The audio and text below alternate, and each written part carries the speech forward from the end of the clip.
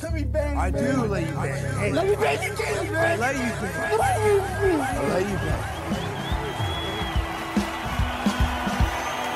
Greetings, marrieds and virgins. Go for Jesus. No for gay Jesus, people.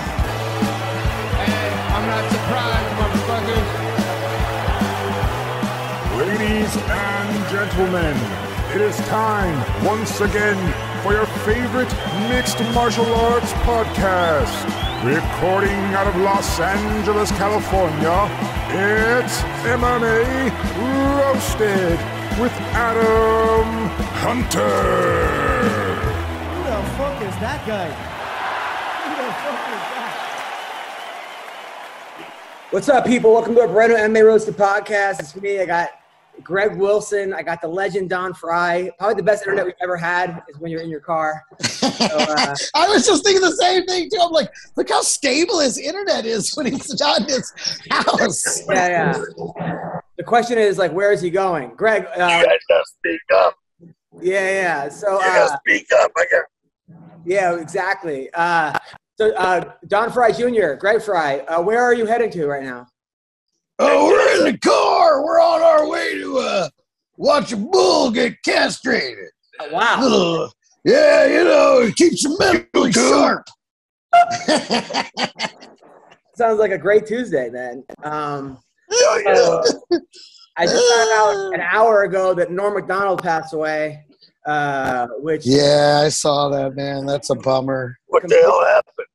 uh, cancer. Like I said, he's had cancer for nine years. Um, Norm Macdonald, one of my Holy crap, nine years! Wow, that's that's tough business right there. I had a buddy pass away on the 11th from cancer. Sean Madeir, Oh, buddy who had that TLC 2000, the glucosamine chondroitin formula, and uh, yeah, he passed away on the 11th. Sorry to hear that. Uh, Norm was one of my favorite comedians. Maybe Yeah, the, the most, too. Maybe the most naturally funny comedian ever. I would I would totally agree with that. I, I was never like such a huge fan of his material, but when you'd be in a room with him, just sitting, just he everything, anything, the coffee maker, he could make anything funny. He was so fucking funny in the room. Were you ever in a, a room with him? Yeah.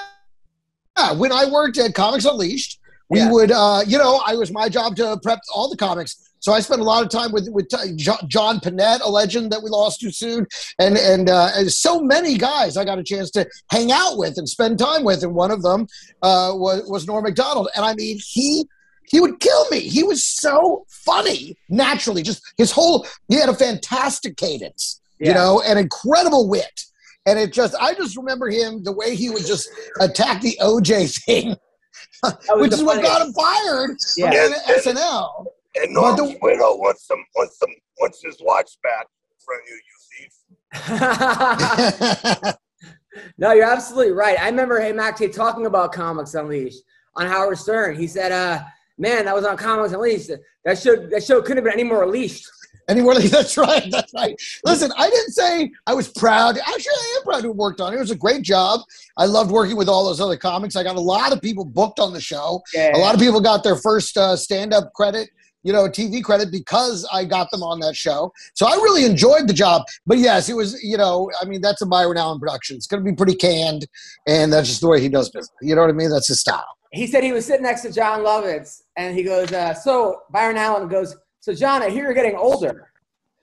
Like that was like, like, like Listen, he, he- that was it was notorious for having the worst transitions of any show because there were no nothing related to any at all. Someone would do a thing about their girlfriend, and then yes, and he would turn to the other thing. He's like, "So I heard you lost your wallet." Like, and then, just, and then like it was the most direct softball pitch. Even radio guys, they kind of work it into conversation and kind of Yeah. like lead up to your thing. There was none of that. It was just straight softball pitch, one to the next. He couldn't give a shit about continuity. He was like, "This is stand up show. I'm setting these guys up for stand up." So now we're looking Which we at the did, bottom- ironically, at the sitting down. of Don's mustache. By the way, I've never seen this angle. Oh wow, that's what Your that wife is. has. That was- that's a lot of chin. Good look. Good look. He said my wife has. What an asshole. Oh, he still got it, baby. uh, but yeah, I I remember when I was on Comics Unleashed, the all the crew would laugh at how bad the transitions were, because like like he would see he, he one time he goes he looks at somebody he goes so you think you can learn uh, gra- uh, language by graffiti or like it was something that was like no one had ever made that sentence before like it was just like the middle of- Yeah, e- exactly. Like it wouldn't make sense unless you're setting somebody up for a bit about so graffiti being its own language. It was he would, but that was just that was Byron. He was producing a product, and listen, that product Oh, sold yeah. incredibly well. That show is still running in oh. syndication. So I don't want to talk you know, about Byron I mean, Talk about Norman. for all the shit that Byron Allen gets, you gotta give him credit for being able to produce, you know, Forget yeah, Byron. yeah, whatever. Yes, yes. Norm was Norm was incredibly funny and incredibly gracious and incredibly nice and treated me like a colleague, even though I was a total nobody to him. He do, was so respectful and nice. I, I couldn't speak more highly about him. He was a great guy, and uh, his passing is a real loss for the comedy community. I actually heard a story about Norm one time, and I when I met him, I asked him if it was true, and he said it was totally true. So he was doing Star Search, and he didn't want to do Star Search because he only had like six clean minutes, right? And Right. and like he made it to like the finals basically, but he did all but he did all his clean jokes like in the semifinals or so he's sitting there and he has no more material. So he goes, so, so he goes out in the finals and he goes, so uh, I got this bowl of soup and uh, in the soup I put some crackers and then I put some uh, I put some carrots and then I had a little bit of celery and uh, then I put some potatoes and then I put some uh, some grapes and this went on for five minutes. there was no punchline. and then he goes, he goes, uh, he, he got zero stars, like like the first guy to ever get zero stars in the finals. And then he's like so nervous. So then Emmett McMahon goes up to him and goes, "So Norm, you're from Canada, you know? Uh, so what's the difference between Canada and the U.S.?" And then uh, Norm is so nervous, he looks down and he sees the guy's shoes, and he goes, "Shoes." And they go, "All right, uh, give it for Norm." like that. And I asked Norm, I go, did that really happen? He said, yes, that's exactly, that's absolutely what happened. Uh, McCorkle, you, Not much of an improviser on stage, but off stage, super funny. uh, McCorkle, you saw Sean in concert, uh, uh, Norm concert, right? Recently? Yeah, man, I'm actually heartbroken, man. He was my all-time favorite comedian. Uh, I was sad just now to hear that he stole some of Brendan Schaub's comedy for that last Star Search show about the grapes and the soup. Uh, That's really fun. Early But on, too. Early go. I uh, I really was thinking about today, man. It's been a rough couple of years for stand-up comedy. Like you've got, like I mean, the COVID thing has about killed it. You got Norm Macdonald dying today. Another famous comedian died. I can't remember who it was, but uh, you know, not only did we lose Brendan or Norm Macdonald, we gained Brendan Schaub. So And of course, of uh, course. it's been a, Two. And Now, how- Adam, two Hunter. Adam Hunter dies every night on stage. right. Appreciate it. I think, I feel like it's just the mustache talking at this point. It really is. the mustache is also driving. So, um, Sean, how was his last show that you saw? Because you saw him a couple years ago, right? Yeah, that was awesome. Unfortunately, when you like, I watch everything he does on YouTube and I've seen everything, so I knew most of the jokes other than the crowd work, but there wasn't a lot of that. Uh, it was at a casino. Uh, I don't remember where. I want to think like Mississippi or something, but I hung out at the casino all night hoping to catch him in there, like doing his gambling thing. Yeah. But uh, there, there wasn't any professional sports season going on at the time. Uh, I did want to say before I forget, you know, Greg said that even though uh, he was a nobody to Norm Macdonald, he's still treating him the same. I want Greg to know he'll always be a nobody to me. So Oh, thank you. Thank you. yeah, so I just I, to I, I wear that as a badge of honor. so, uh, yeah. I'm going to get a t shirt that says that. I'm nobody to, to John, who's, who's great? Speaking of which, by the way, before I forget, have you seen the movie Nobody on uh, Netflix? I think it is. No, I've heard it's pretty good, though, is it? It is Yeah, that's a good movie. That's a Oh. good movie. Holy shit. Bob Odenkirk as an action star, because you're like, that's not what you think of Bob Odenkirk No. as a guy that goes around fucking everybody up. Amazing. Like, Yeah, he might be the best actor of all time because, that was great. Was that oh great? my God. Like, he just, it's, it's not the kind of movie like my wife watched it and within 10 minutes she's like what are we what, what is it what is it everyone's just killing people what is the point of this movie I want Don to explain how he watched anything on Netflix with that internet connection. That's what I want to know. oh my god it but i mean right don was that one of the best movies you've seen in a while or what Yeah, that was a great movie, man. I tell you, I was surprised when I, I thought the same thing. This guy's an action star. Come on, and he pulled it off, man. Pulled it off. Yeah. I actually Yeah. met him in Vegas uh, not too long ago. And uh, I was like, hey, man, I'm a big fan. I remember, you know, from back in the day from Mr. Show and all that. And he's like, oh, wow, that's great. I'm like, yeah, I'm a comedian too, blah, blah, blah. He goes, oh, do you know so and so? And I'm like, yeah, no. And he named like three, like three, he named like three, like big industry people. Yeah, And I'm like, and I'm like, uh, no, I don't, uh, no. I, I'm more of a club level comedian. I'm a, well, by the way, Don, are you out there patrolling the border right now? Is that what you're doing?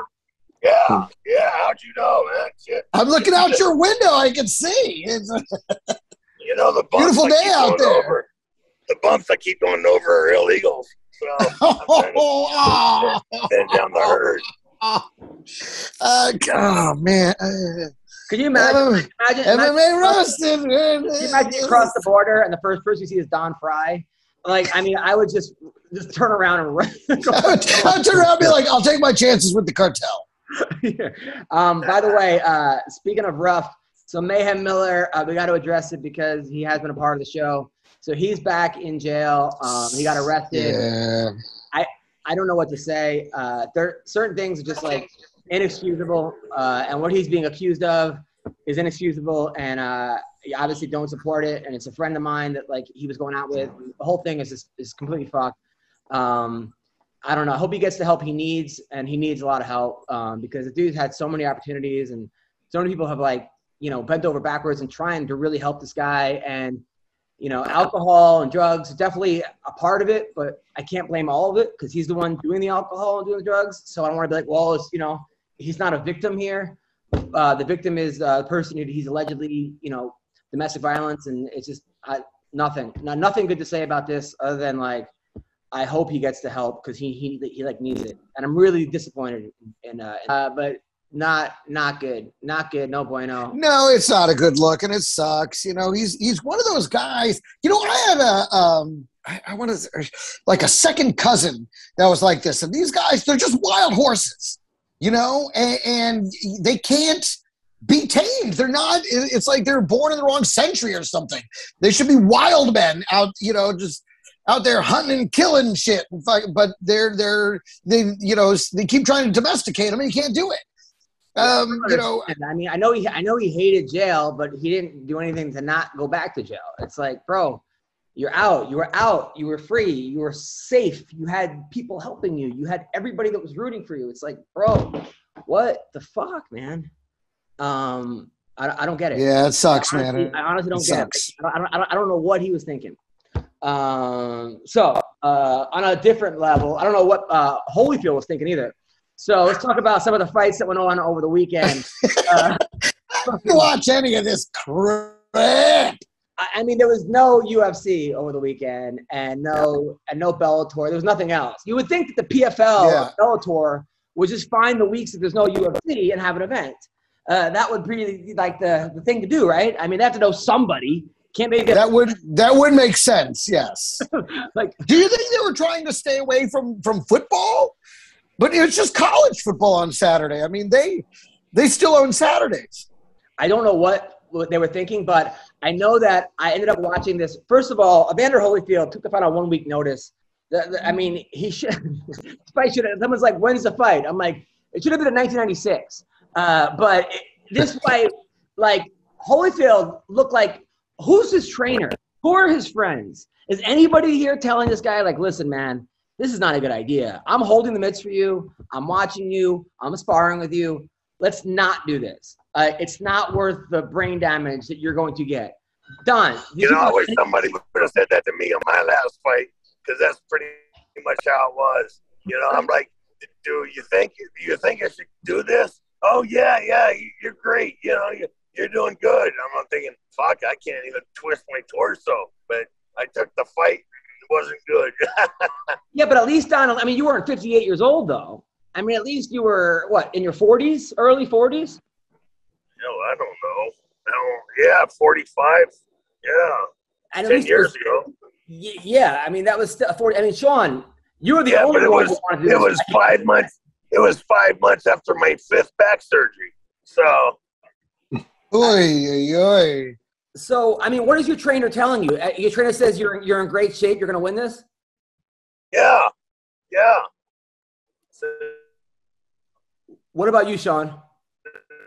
I uh no, I was telling myself I shouldn't be doing it, but I'd already signed the contract and agreed to it. My last couple, I was like, I really shouldn't be doing this. Like, uh, I was having trouble walking. I mean, you remember at that point, I was even having trouble walking, man. So it um it wasn't even money at that point. It's just I don't know. Part of you doesn't want to believe it's over too. You know, like part of you doesn't want to think like. uh But I would say Holyfield's advisors are probably the same people that helped him go through his three hundred million dollars he made while he was fighting to where he's bankrupt now. He's probably got this the same team. Like, oh, you can get out there one more time. You know, like go, go out there and make us some more money. But uh I, I don't know, man. Between him and Tyson, like I know, I guess I know how you go that broke. I just don't know how any no one cares about you around you to keep you from going that broke. You know, so. I I remember reading an article. Was the about it. fight one round? Was that one round? Yeah, it was one round. One And it was minute. Like, Yeah. I mean, he basically he like, he missed and went through the ropes basically on his own without even getting touched. Then Because I just, I got, I just looked up. A, I just wanted to see the, the, you know, what he looked like, and uh, there's a video. It says Evander Holyfield versus Vitor Belfort highlights. It's a minute long. Yeah, that was, Yeah. it was a minute. It was a minute too long. I mean, the, the thing was is that it was, it was insane. It, it was insane. I read an article that like Holyfield said wrote. He said uh, an interview. He goes, "Yeah, no one teaches you in school how not to go lose, how not to go through two hundred million dollars." I'm like, probably because you don't need to go to school for that. Like, yeah, because it's real easy. Don't spend two hundred million dollars. You spend fifty million dollars. Don't spend the two, whole two hundred. it's crazy. yeah, but you got you got people, you know, with you going, oh, I need this, I need that. You know, you're my best friend. I love you. You know, and then of course you got the women doing that crap, and then you know you got an advisor or an accountant who's saying, no, no, no, don't. But you know, they could be putting some in their own pocket. Yeah, I mean, did you watch the fight, McCorkle? What did you think of, the, of, that fight? Uh, well, Greg talked me into betting on Evander Holyfield since it was like five to one. I thought, heck, maybe he'll outbox him. I was like, who knows? I, I thought Belfort would win in a minute, but I was like, you know, Greg was so confident. I was like, maybe he will win. And uh, yeah, when he fell through the ropes after missing a punch, like he actually fell through on his own. I was like, this isn't going to turn out well. And they stopped it too soon, but it wouldn't have mattered. It was the next exchange he was going down. So it's uh, he barely. I mean, dude, that was that looked like an old man fighting uh, a slightly less old man on a bunch of steroids. Is what it looked like. You bet But, on um, Holyfield? you bet on Holyfield? I swear, Greg kept. saying You convinced doing this his me to bet. You convinced me to bet on Vitor Belfort. Yeah, like uh, Greg kept. I kept thinking, dude, I'm always wrong. My instinct was Vitor Belfort first round knockout. I thought he was going to maul him, and I thought, but Greg was saying, I mean, you got to consider. Look at the shape he's in. He's been he's been doing this for 50 years. And I was like, that's a good point, man. Like Tyson looked. People say whatever they want. Tyson looked amazing in his last fight. Like he looked. Way Tyson could beat a lot of heavyweights now. I think if he still got his chin, you know, he looked amazing. So I thought, well, Holyfield looks in just as good a shape. Greg always, whenever he says something, I say the opposite. He's right because I lose my money. So I was like, I'm going with going with Greg's pick, and then I, yeah, when he fell through the ropes after not getting touched, I thought that's not like it's not. I can't believe. I mean, I'm just like. I mean, I was just watching it. I'm like, you know, the first few seconds he looked pretty spry. He was Yeah, bouncing yeah. around real nice. He threw a couple, couple of feints. I was like, okay, okay, and then and like it was like he got touched uh, by Vitor, who, who did obviously fucking jerked. But I mean, he got touched and just was like, oh, like I, I, you know, that kind of collapses It was Yeah, but I- unexpected. In, in Greg's defense, too, part of it was uh, I saw a, a pre-fight before I bet with Holyfield. He said he'd been getting ready to fight Tyson for two years, training every day for two years. And I thought, well, if his body's healthy, as good as he is, he was not going to be as fast, or his reflexes aren't going to be as good. But, you know, I thought, uh, you know, you look at Mayweather, who's 44, 45. Mayweather still has, you know, um, not his speed, but I mean, he's still got all the boxing skill in the world where you can't hit him. I thought I could see Holyfield maybe just dodging every punch for a few rounds. But, yeah, I got uh, killed on that. They had him on. They had him. Someone was holding the, the, the pads for him, and he looked terrible on the mitts. And then people Yeah. were like, "Oh, he's doing that on purpose to kind of throw the other guy off." I'm like, when has a guy ever done that? Yeah. Yeah, that's That was usually not how you warm too. up by looking bad. um, my excuse always was, do I look like I'm out of shape? Because that's just a ploy. Like, I don't know. Um, and then Tito Ortiz also, I don't know what happened because he looked good against Chuck Liddell when he fought a couple years ago, and he looked pretty good in his last couple fights. But in boxing, it looked like he was like pulling his punches almost like he was throwing fake punches. Like he was like he agreed to go 20%. And then he got face planted, which everyone in the world was posting that meme. I never do that. I mean, like I'm not saying that I'm like the king of morals, but when a guy's laid out on the ground, that's not my that's not the kind of meme that I want to post. I just I don't I don't, I don't do it. It's, it's not my thing. Dude, Uh, I thought I was watching The Matrix. He was in such slow motion, I thought bullets were going to be whizzing by. Like he, he really did. He looked like he was in slow motion. I was like, what is he doing? Like it looks, it looked like the slowest thing I've ever seen. And of course, Anderson Silva's going to hit you back when you yeah. when your punches are coming at Anderson Silva at four miles an hour. He's going to be able to dodge them. So uh, Don, did you watch? Dude, you guys were so funny too, by the way. I- I'm at a concert and I'm just getting all these texts. My phone just buzzing. I'm looking at it like, I'm like, God, he looks like shit. What the fuck is happening? Who would pay for this shit? Like, and I'm like, well, I'm glad I didn't see that. It looks like I missed nothing. So. Don, did you watch the Tito Ortiz fight? Oh, I didn't see any of them, partner. So, so he came out and he was throwing punches like it- was like almost like you're punching like, a, like a, your little brother or like you're playing with someone. You know, like you're just like like you're exaggerating punching someone. Right. It was like it was like bad '80s wrestling punches. Not even like Yeah. '80s wrestling punches. It was, but it was crazy. I, I've never seen. I mean, remember when Dana White was going to fight Tito Ortiz in boxing, uh, and Dana like weighed in? I almost think Dana might have won uh, based on. like, I'll tell you what, Jake Paul, if Jake Paul's, What? if Jake Paul's smart, he'll fight Tito Ortiz next because he will whip his ass. Well, Tito, uh, like you said, Tito called out Logan Paul. He goes, Logan, both of us just lost our last fight. We should fight each other. I mean, I don't know. Is he th- that desperate for money, Tito Ortiz? Seems like he's, he saved his money. I know he didn't lose money to Jenna Jameson. She was probably worth eight times what he was worth. You know, I don't think he lost money in that divorce, unless it was on lawyer fees or something. I, I don't even know if they were married. to be well, he didn't get to save any money being mayor for one day. Being mayor for the day. He's the only politician that came out of politics poorer than when he went in. So he took out a loan. Yeah, yeah, yeah, yeah. He didn't make any deals. He, he, actually- he actually, he I think he took out a loan during COVID while he was the governor or the mayor or whatever. Like he actually, um, but but yeah, uh, I don't know. I mean, Logan Paul is just going to kill him, and I think that's going to be terrible for MMA again. Uh, I mean, do you what do you do you think? What, so what happened to his hands? Because yeah, he had decent hand speed, right? Yeah, I mean, he, he looked like he was physically in shape, but he, I, I, I don't, man, I've never seen a decline in a fighter like that in my life. It looked like you said, it looked like it was a joke, like pro wrestling, like it. And I don't think, I think he was trying to swing. He just, God, maybe he got two torn rotator cuffs and a broken back or something. Like, I don't know, because he could not move. I mean, it was terrible. It was uh, unbelievable.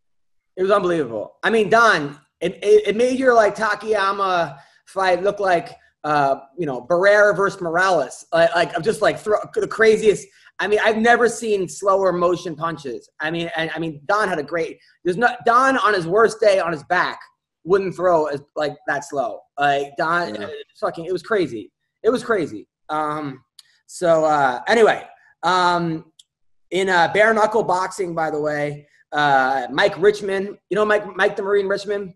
Uh, really good guy. He was a Bellator uh, fighter. He got tested positive a long time ago. He, he works at a strip club in Minnesota. He's like a manager. Anyway, he's doing he did bare knuckle boxing against Dakota Cochran. Dakota Cochran, who has wins over Chris Leben and Johny Hendricks, um, and he fucked up Dakota Cochran in bare knuckle boxing.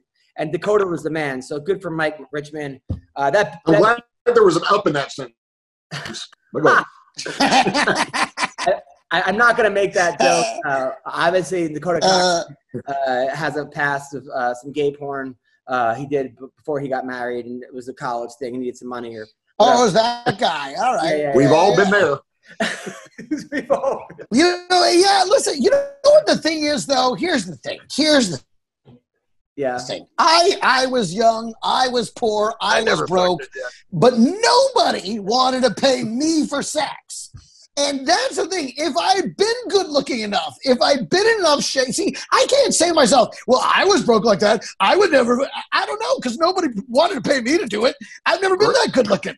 I don't know what, Joe Sean, you've been that Right. good looking. Well, How many guys paid you for sex? I I would get weird offers all the time. People would offer me their wives all the time too. I was going to say Greg was young, he was poor, uh, like all that he said, uh, and he uh, he just did it for free still. So it was weird. Should gave her for free. Yeah, no one paid. No one had to pay me. Right. Um, so But, but yeah, but actually, Dakota came on the show. I, I did a lot of gay porn jokes in the past, and he came on the podcast as a fan. He said, "Please don't make any gay porn jokes." Of course, I didn't. Uh, he happens to be a really good dude, and everyone, you know, pe- people go through their phases, and I'm, I'm not going to judge. Uh, we've I've evolved as a person uh, to, to to make fun of jokes. Uh, so him for that because whatever. Um, and but speaking of which, the the big issue right now is there's a uh, what, what are you what are you laughing about, Greg? Nothing that doesn't. Was such a valiant attempt to be nice. And uh, you know, people do things and before, and I said I wouldn't. I'm involved. I don't know. Whatever. Moving on. All right. So, So, uh, a couple things. First of all, there's uh, there's a, a transgender um, fighter who won o- over the weekend. Uh, you know the name of the? Uh, I think her name is Alana. Uh, Alana, transgender. And if you look at a picture, have, have you guys seen the picture of this person? yeah. No. Greg, Greg, have you seen it? Hold on. Let me see. actually, I think I have seen this. Yes. Didn't you send us this? Did you text us this? No, no, no, no. Uh, it's, it's so this person was uh, she was a special forces um, uh, for uh, in the Marines. I mean, this and huge, jacked, just like uh, I'm trying to think of her name. Her name is Alana McLaughlin. Um, and uh, Okay, so it was a dude that turned into a woman. yes, yes, exactly. Okay, that's what Uh, I'm saying now. Yes. Yes, and they had a pic, and there was a picture of him before with an axe in his hand, and he's got these tattoos and he's jacked, and then those Yeah. before and after. So I, I made the joke of like, look, it's obviously a controversial topic, but at least we know what he did with the axe, or what she did with the axe, right? Right. Which, which, which I thought was a funny joke. This is a, basically just a dick joke, uh, and I thought it was safe enough for people to laugh, and, and they did. Uh, a lot of people thought it was very funny, and a lot of transgenders went on my Instagram page um, well, one at least, and said it was a, a woman uh, that became a man that goes, I'll borrow his penis. So uh, my friend Zach. Um, and then it became this like huge debate on my Instagram of whether or not it's fair enough for the person to fight in the women's division. Um, because some people say, look, you know, uh, and a lot of females have a problem with it. A lot of females seem to have an issue with it. Female fighters. And I don't blame them because you know, that's who I think we should talk to. They're the ones who would have to fight uh, because I, I think that I don't know the full science behind it, but let's just say they let transgenders compete in the uh, women's division, and now all of a sudden, like the top ten fighters are in the women's division are all people that were born men. Uh, that could be an issue, right? I think a lot of people might be like, "What?" I- think you, you don't want to say. I think you're absolutely right. I think it absolutely can be an issue because you're fighting someone who's still got the physical structure of a man, yeah. except now you know the sex organs or, or, or whatever. But but the body is still the, the the structure. It's still a man's body at the end of the day. I, I would see where that would be. That would be a problem. You know, I mean, Yeah. uh, So, there's a reason we don't do a lot of intergender fights. well, that's my solution. Is that I think there should be an MMA league of, or, or division of just trans, a trans division uh, where you have trans athletes. Boy, that'd be a deep pool of talent to pull from. well, you know You're gonna have to do some. Re- you're gonna have to do some recruiting and have like a ten year plan. For, to You know what I wanna this. know? Why can't I play in WNBA? Like, if a guy can beat up a woman, or a, yeah, yeah, it's a guy. If a guy can trans and like transition, be up, a woman, why can't I play in the WNBA? Because I don't play basketball anymore, but I would dominate every woman on the planet in basketball. I got. I got to tell you, I don't think that's entirely true. These women have really evolved. Some of them are very incredibly talented, amazing basketball players that are just as big as you are, buddy. So I heard one of them uh, actually dunked the other day, which blew my mind. Like, uh, that must have been an exciting game.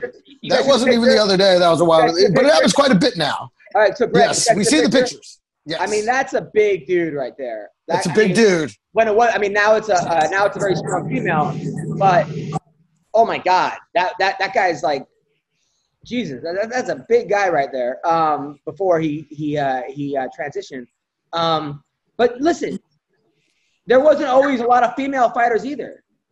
You know, you have to start somewhere. You don't think that heard- there should be? I heard that's going to be Mayhem's defense. He's going to say that he identifies as a woman. So there's nothing wrong with it at that point. Oh, that, that, it's still it's You know, how much, crime. That guy, Still a hey, crime. How much that guy weigh? Uh, I think I think I, I don't know what division. I think 145 now or 155. I don't know. That- That'd be a good matchup for Amanda Nunes, right? Uh, no, no. I mean, she barely won her fight. I heard she was basically losing until she got wobbled a couple times. She trains at Colby Covington's gym, by the way, which has got to be like. I just want to see that those training sessions. um, but yeah, and then so Sean Strickland got got got in big trouble because well, not big trouble. So Sean Strickland basically said, uh, "This is his his opinion." And look, and look, look, like I said, we at MMA Roasted, we respect everybody. I'm, I'm not making fun of anybody. You could, we're gonna. I, I personally am gonna call you whatever you want to be called. I just think when it comes to competing against the opposite, uh, a, a different gender, the gender you weren't born with, there's some advantages that, and uh, I'm not, I'm not into it. I, I think that you should, uh, you know, I, I, I think there should be a trans division. I think that would just be, you know, I think that would be. So Sean Strickland says you're still a fucking man. Uh, he says this person's. Uh, so he goes, uh, Sean Strickland says, he goes, I consider myself a classical feminist. Uh, if your religion or government has an unequal standard for women, and I'm not with it. Testicles at birth equal man, ovaries at birth equal woman. Uh, he goes, change your name, call yourself a woman, but you're still a fucking man. Got a women's MMA coward. This is why the athletic commission is useless. Uh, so uh, But it, it, it is a man until he whacks off his wanker. You know? Then he's a man without a dick. on. Right. uh, I Sounds like Sean. so Right. then, he's, then he's me. he's Sean. I, I'm sorry. That that's that, that was your opening for uh, another uh, Brendan Schaub joke, wasn't it? Yeah, I'm Hey, sorry. yeah, thanks, thanks for putting it on me instead of Schaub. What's up, guys? Take a break for one second because I got to tell our fans some great news. We are back and better than ever. All eyes are on the gridiron as teams are back on to start another football season. As always, Bet Online is your number one spot for all the pro and college football action this season. With a new updated site and interface, even more odds, props, and contests. Bet Online continues to be the number one source for everything football. Head to the website or use the mobile device to sign up today to receive your 100% welcome bonus. That's double your initial deposit just for signing up. Don't forget to use promo code NFL100. From football, basketball, boxing, right to your favorite Vegas casino games. Don't wait. Take advantage of all the amazing offers available for the 2021 season. Bet online, the fastest and easiest way to bet all your favorite sports. Bet online, your online sportsbook experts. Okay, guys, come on back. So, in, in, in other news, uh, Conor McGregor went to the Video Music Awards and got into a fight with Machine Gun Kelly. Uh, did you see this, Greg?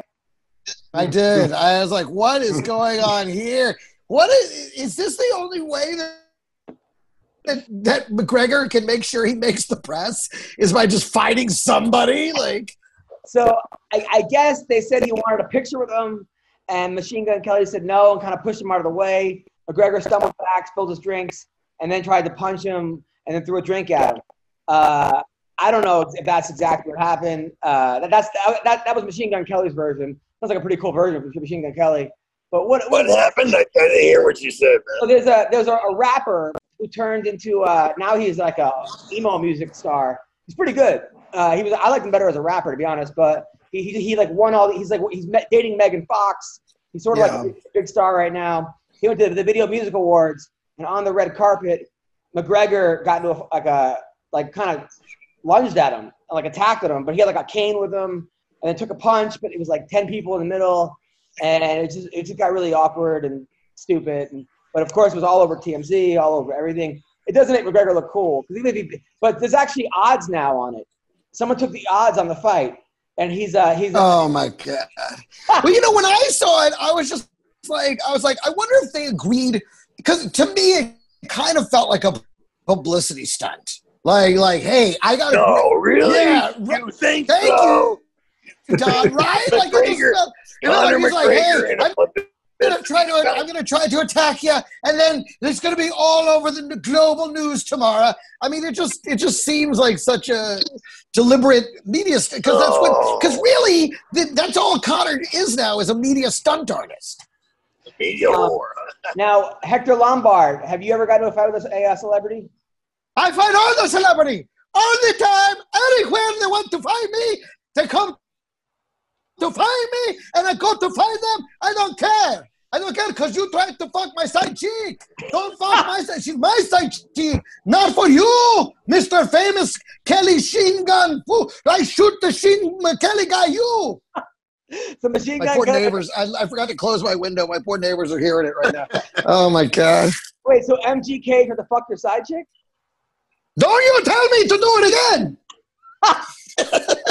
Wow. Wow. Wow. Wow. Wow. All right.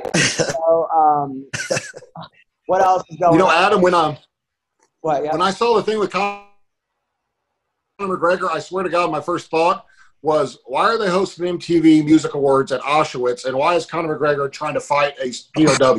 Like Machine Gun Kelly, dude.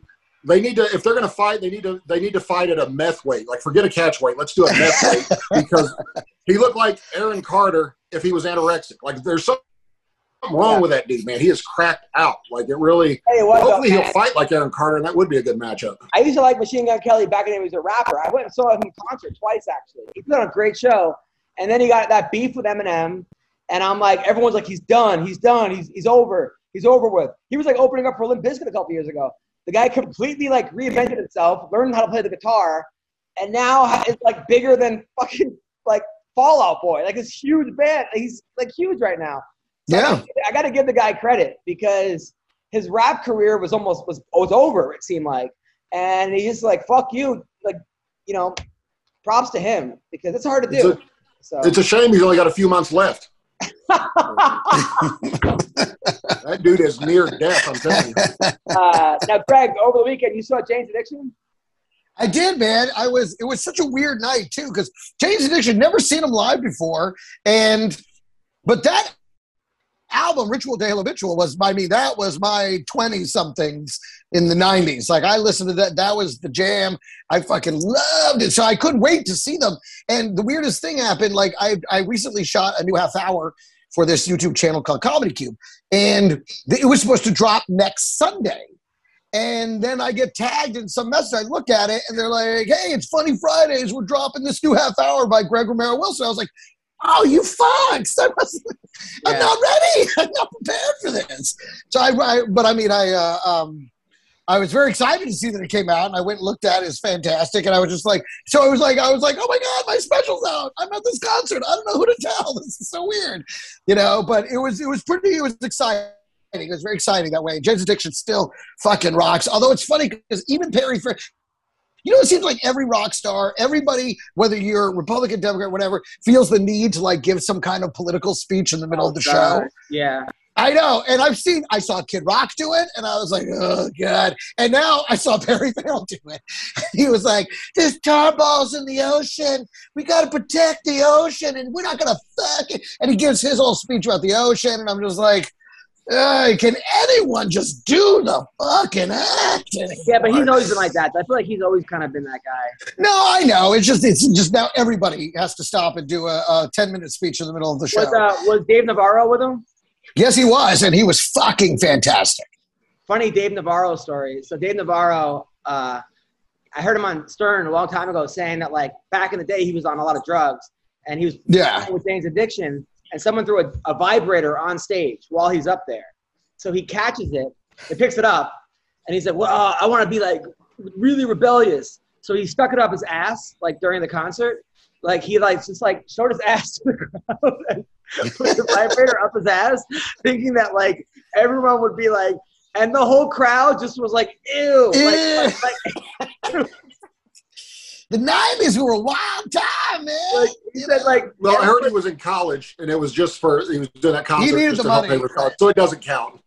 he said everybody was like like the concert stopped. And everyone was like, It was like the fuck, dude. Like you weren't supposed to do that. that, that made me, that made me laugh. There's no bigger you're doing sign of Can you rebellion. imagine you're doing a stand-up show and somebody throws a fucking dildo? You're like, yeah, right.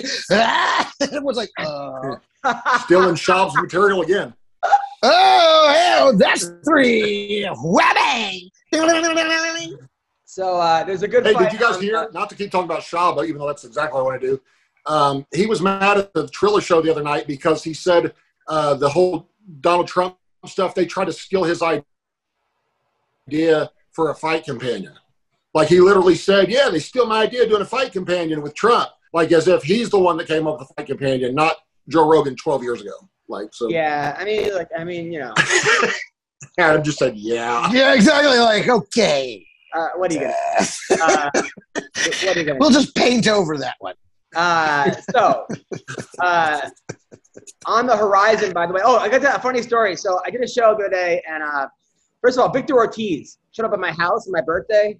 Did I, did I tell you that, Greg? Remember that? You, you, you were there, right? At my birthday party. Uh, with Vic, when Tito Ortiz. You know, Victor Ortiz, the fighter, the one Oh. that's like. Yeah, yeah, yeah. So we became so we like became friends after that, right? And he's like, a, he's a real nice guy. I mean, just a he's the kind of guy that Yeah. like those guys that you meet and he tells you his whole life story like within five minutes, and you're like, I fucking love this guy. Crazy life story, right? He's a So- good guy. He's a really good guy. really good guy. So I did a show at the Roosevelt last week, and he came by, backstage. Adam, what's up? Blah blah. And then uh, it was me, him, and Pimpin hanging out. And I was asking Victor, I'm like, hey, what was it like being in the Expendables with like Stallone? Like, what was that like? You know, like, cause he was like the, like a big part in the movie. Like, how, I'm like, how did you get that part? So he says that like somehow Stallone saw him on like one of his fights, and he calls him up, and he's like, "Yo, Victor Ortiz, uh, it's me, uh, Sylvester Stallone." And he goes, "Yeah, right, Stallone. Fuck you. Don't fucking prank me." And hung up on him, right? And then, and then he calls back. He's like, "Yo, it's me, Sly." He goes, "Sly? What do you think? You're all fucking Sly? Like he doesn't know that's his nickname. What you fucking you Sly? Like he goes, "I'll fuck you up." Then he gangs up on him again. He calls him back. He's like, "Yo, Victor, it's me, Stallone. I want to talk to you." He goes, "Meet me at this fucking gas station in ten minutes. I will kick the living shit out of you." Right? So finally, right? Finally, he calls him up and he and he gets through and he's like, "Yo, Victor, it's me, Stallone. I know your agent." And just naming all these people at like Gersh or whatever. And he's like, "Oh shit!" Like this. He goes, "Rocky." He goes- and then and then Stallone goes, "Yeah, that, that's a character. I'm not really Rocky." He goes, "I want you to to audition for this movie." He goes, "What's an audition?" Right? So he goes, uh, he goes, "Well, you know, you try out. I'll give you some, you know, lines." So he said he goes down there and they give him lines, and he get, he sees it and he goes, "Listen, man." I'm not an actor. I, I, I don't know what the hell, but I don't. I never acted before. You're an actor, but he goes. I, I came from a broken home. I did this. I did that. I, I came from. He goes. You inspired me, Rocky West. He goes. And if you give me this part, I'm a fucking workhorse. And Stallone goes. You're the real life Rocky Balboa, and gave him the part. like Wow. Sounds to me, Adam, like you need to give uh, what's his name? You need to give Greg's uh, Greg his number and have him call him as um, Hector. See what happens. like, hey, Vi- Victor, Hector Lombard's on the phone for you. Let's see what happens. Like, I'm like, can you, I mean, can you believe that? He hung up on him three times thinking he was being prank called, and then he goes Rocky. Let's be honest though. If somebody called you out of the blue saying they were Sylvester Stallone, you'd think you're being pranked too. You would absolutely be like, I- okay, I don't know what radio, I don't know what podcast this is. Fuck you. And then he goes down there. He goes, "I'm not fucking." You give me the part. And then he goes, he goes, he said he was like on set and they, they gave him like a machine gun to shoot. And he was like putting in the bullets one by one. Like he didn't know how to shoot them. They had to come and like give him all kinds of training and shit. And yada, yada. But uh, man, the guy is a, a nice guy. He's only like 34 years old. What, what were you saying? Stallone gave him a machine gun. He was like, Rambo? Have I ever told you guys the story of the one time I met Sylvester Stallone? No.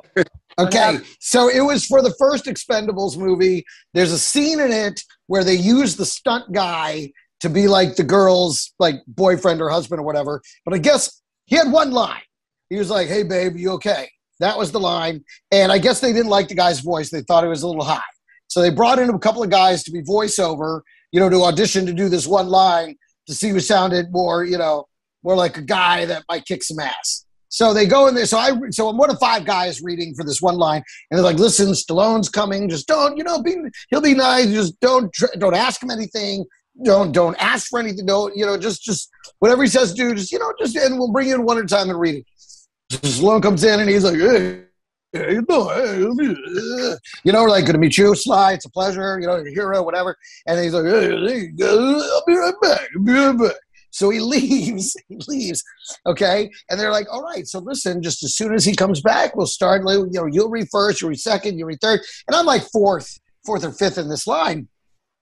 And Stallone still isn't. He still hasn't come back. And I'm like, I'm like, you know what? I got time to take a piss. I can go take a piss and come back before they finish reading even one guy. It'll be fine. So I go in the bathroom and I'm starting to take a leak, and from the stall next to me, I hear. like, and I look down, and there's Stallone's shoes, Oh, and no. he's in, he's in there trying to pinch a loaf, Oh god. and he's making all these noises, and I'm trying not to die laughing, and I just want to get out of there before he comes out. I want Yeah. to finish and get out of there so he doesn't know who it was. So I just like, and I just, I, I just hear the. And I just finished visit, got the fuck out of there. And so, uh, yeah, so I met Stallone. I, I, I heard Stallone shit.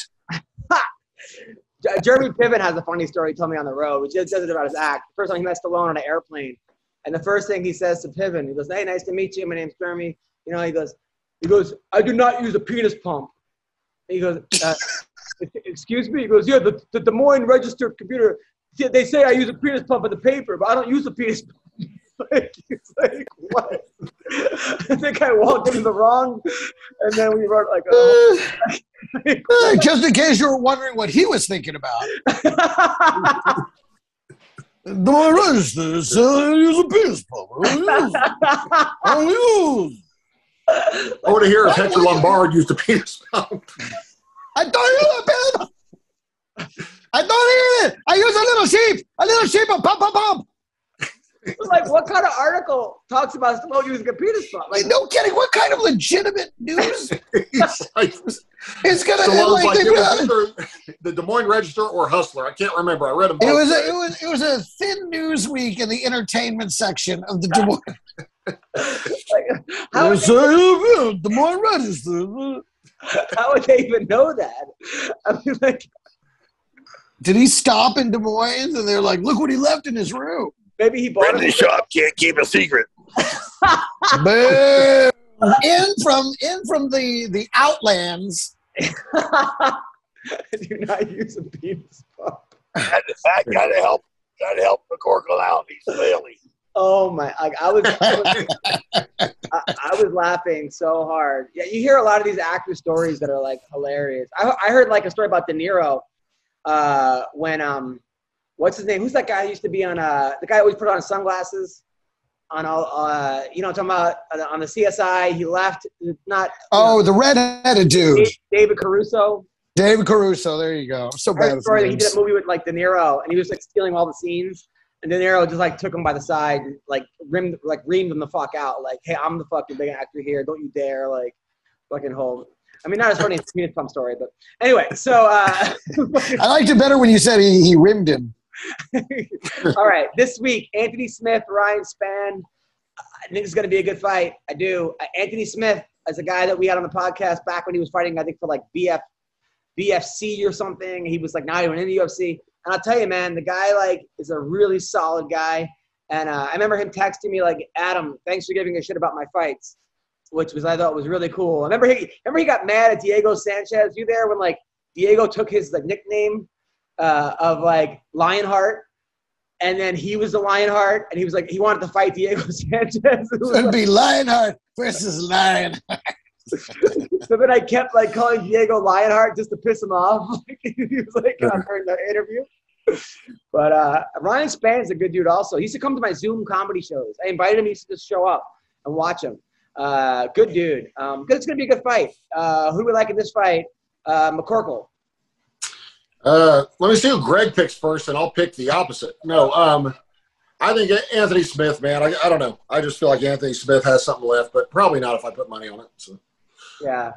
Uh, Yeah, I'm going Ryan Spann on this one. Anthony, uh, I know I know he's coming off a win, but I mean he's been a little up and down.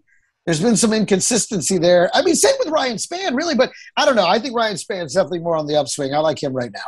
By the way, Sean, back in the day, I remember me and you first, first started becoming friends. You told me if I go to, I was single. You go, if I go to Indiana, you hook me up with some hot girls. You said you knew every hot chick in Indiana and you banged most of them. Of them. Uh, is this true?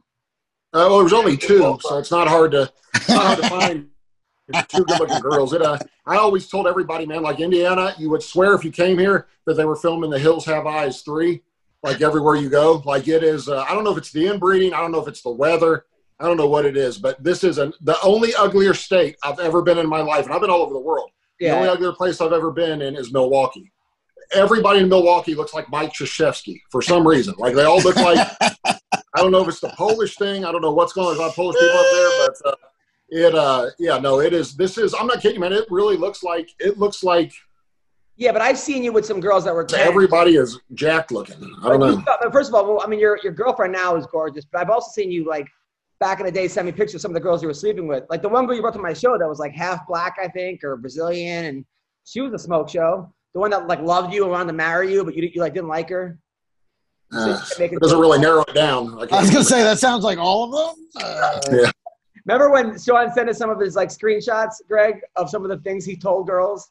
oh yeah, That was some of the craziest. his, his, back when he was on the, the the dating apps. yeah, the Tinder or whatever. Yeah, I was, my only goal, my goal seriously back then was to make them mad enough to not respond because I was writing a book that I was going to act as if like, like basically how to ruin a relationship before it starts. And I was, I saw I was literally trying to get people to not text me back by offending them. It was, uh, it was funny. By the way, if you go to the UFC site right now, uh, the third match on the main card is Nicholas Mata versus Nicholas Mata. Wow, that, guy, that guy, that definitely. Never heard of either of them. They, they, it's his debut against his debut. It was actually fighting Cameron Van Camp. Uh, so Nicholas Mata against yeah, a lot of these people I have not heard of. The Joaquin Buckley I've, I've heard of. That guy's awesome. Panty, Panty's fighting Raquel Pennington. I like that. Panty's a underrated hottie um, who's a nice girl from Sweden. Swedish girls are different, man. They're just different. I, I find there was. I remember I took home this girl one time. She was a stripper from I think Denmark, and we had sex like the first night, and then I invited her out again, and then she's like, "What?" She's like, "Okay, now you got to earn it." I'm like, "But we had sex last night." She's like, "Well, yeah, I wanted to make sure you were a good in bed. No point in going out with you if you weren't gonna, if, you, if like you were gonna suck. But now I'm not gonna sleep with you for like four or five days." And I was like, "Well, that that's a, a different approach." Quite a strategy. That's very European. I like it. I like those Euro rules. What was the worst girl you ever had in bed, Greg? Ah, geez, I'm going to say one through four and six through the rest. Ha! What do you mean? We're probably an equal tie for the worst. That's a, that's a heck of a span. That's, oh gosh. you know, I'm trying to think. Of, I mean, if there's oh, okay, yes. Here's the word. The one. eh, You know, we were we were young. We were in college, and so for her, you know, she was just trying to. You're in college. She was just trying. It seemed like she was just trying to like imitate sex.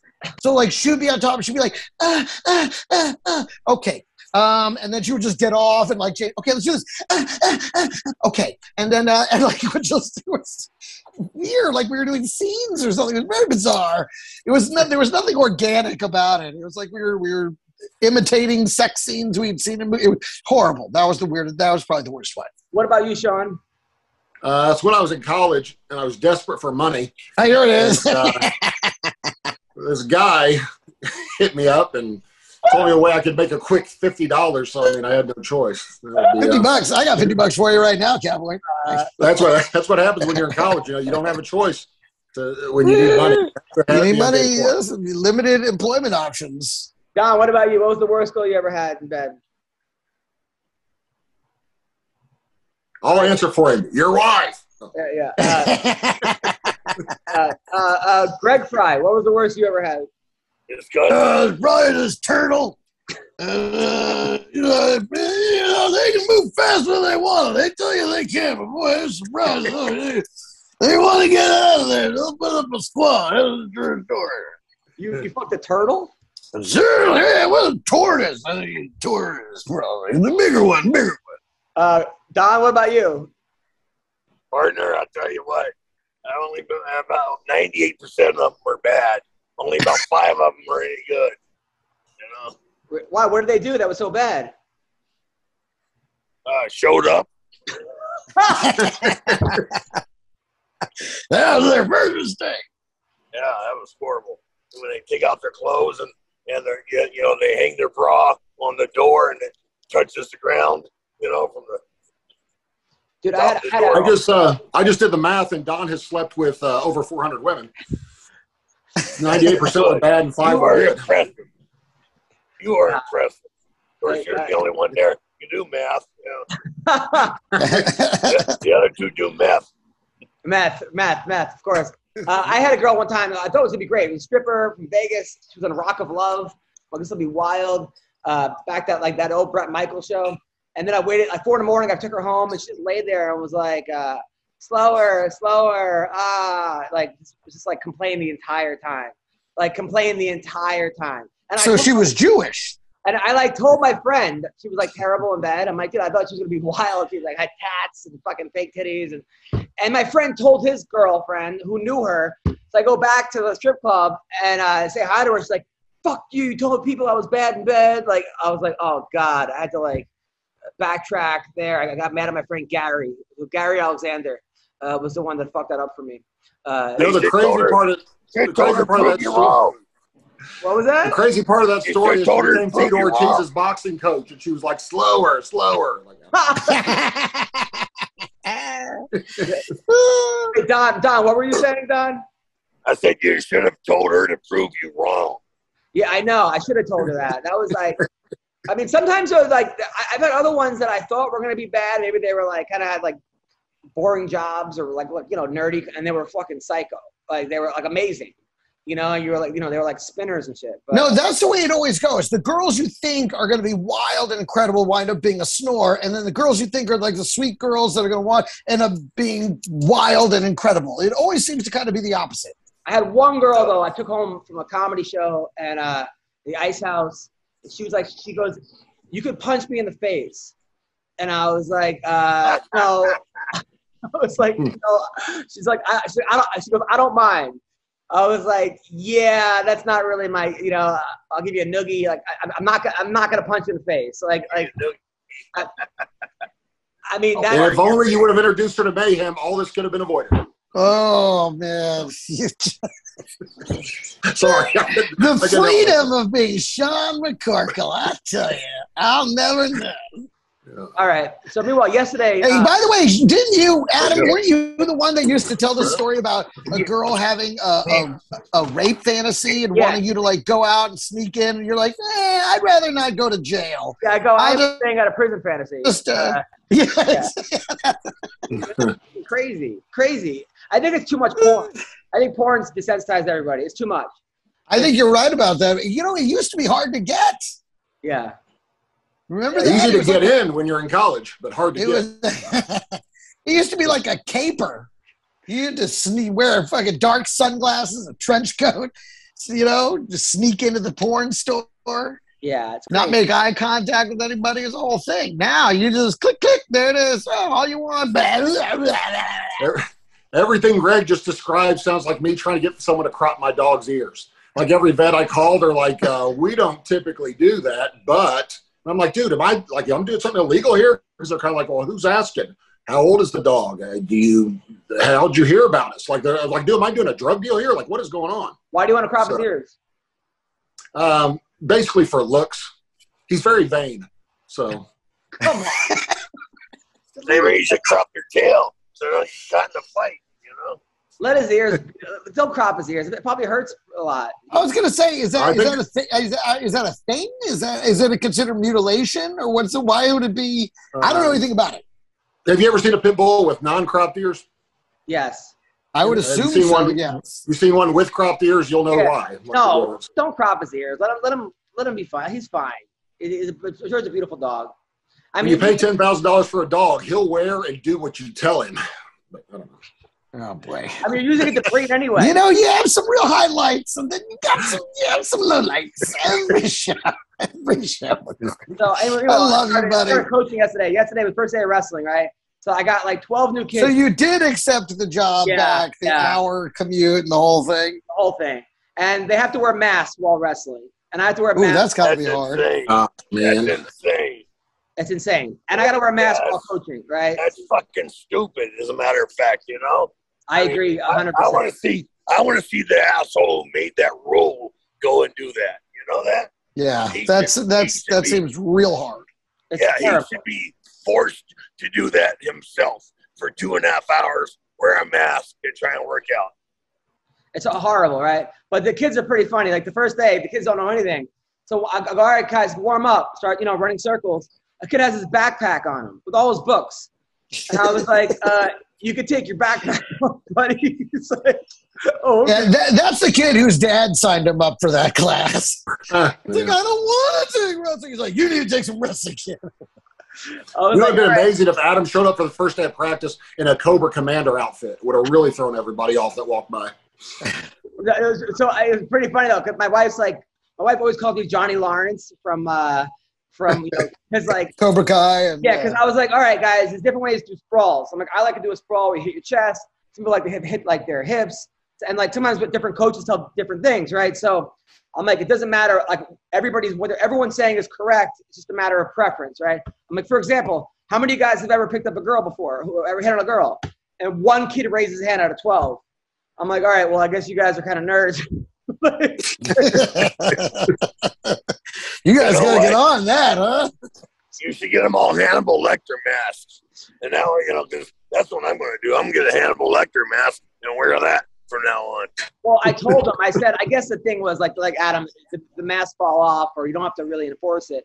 So I, I, we have one guy telling me you have to wear masks, another guy saying don't worry about it. So I'm like, listen, guys, you know, if you, I'm not going to encourage your mask. Just don't, just don't tell your parents that, you know. And of course, I'm waiting for them to want to tell. The coach said I don't have to wear a mask, but I'm like, you know, Oh yeah, that, that's inevitable. But you know, You always want to teach kids to keep teach kids what. secrets from their parents. Yeah. Not everybody. You offer You always want to ice teach cream kids it's candy. okay to keep secrets. yeah, nothing That's- good. never- no one's ever nothing said, "Don't tell ever- your parents." exactly. Nothing Yeah. good ever starts with look. Don't tell your parents. Don't tell your parents. That is Get, never. get in the jacuzzi. Here's some candy.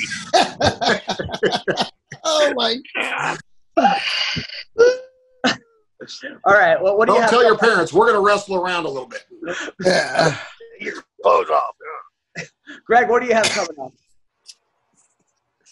First of all, you guys, please check out my new half hour. It's on YouTube. Uh, I'm going to post the link uh, it, on Twitter uh, right after this show, and it'll be addressed to uh, MMA Roasted. So all the MMA Roasted fans will hopefully see it. Please watch it. It did uh, it did about nine thousand views in the first three days, so that's not bad. Um, and but I would love it if you guys all checked it out. You know, Adam, you're always tell them it's such a great comic. If you guys have never seen it, please check out my new half hour uh, on YouTube, totally free. Everybody can watch it. Nobody then has this week- made me laugh harder than Greg Wilson.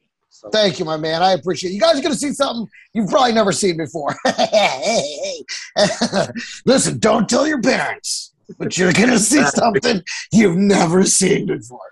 Uh, and then this weekend, I am the grand opening headliner at the brand new Laughing Stock Comedy Company uh, in uh, Bakersfield. The new comedy club just opened up, and I'll be there this Friday and Saturday at 8. Uh, and then uh, Don, what do you have coming up? Uh, well, let's see. About 20 minutes, I have a dentist appointment, so that's always fun. You know, I, I lost a uh, uh, uh, crown, so they got to put a new crown on me. And then uh, we're doing the, the podcast, uh, you know, the Dan and Don's Toxic Masculinity, which is doing great. You know, when I got on Joe Rogan uh, show a few months back, it just, it just, boom, man. It just, it just uh, started growing by about 500%. So uh, thanks, Joe Rogan. Yeah, thank you for uh, mentioning that here. Uh, and uh, but yes, but when I got on on uh, Adam Hunter's podcast, I I grew up one thousand percent. So thank you, Yeah. Adam. Thank you. No problem. Thank you. Thank you, Don. We're, we're, we're blessed to have you. Uh, we really so, are. I love you, Don. You're a legend. So Everybody what do you have? And please don't tell me you're gonna clip your dog's ears to speak. So what, what do you have? This. What do you have? Yeah, that's uh, that's first. I got to be there tomorrow morning to get it started. So that's the, uh, and then I go back the next day to pick him up. I'm so committed. I'm driving four hours to drop him off, driving back home, and turn around the next day, driving back to pick him back up, assuming he makes it through the surgery. Baby, I got baby. All right. Well, I will be at the Minnesota House of Comedy uh, this week. Minnesota House of Comedy in October. I'm going to be in Lansing, Michigan, uh, in mid-October. Go to AdamHunterComedy.com. Got my whole thing. Greg, I gave your name to the the booker. Uh, he should be contacting you soon. Uh, Oh, marvelous. Thank you very much, man. I appreciate that. So thank you guys so much, and have a great day, guys. Be good. Take care, guys. Thanks, buddy.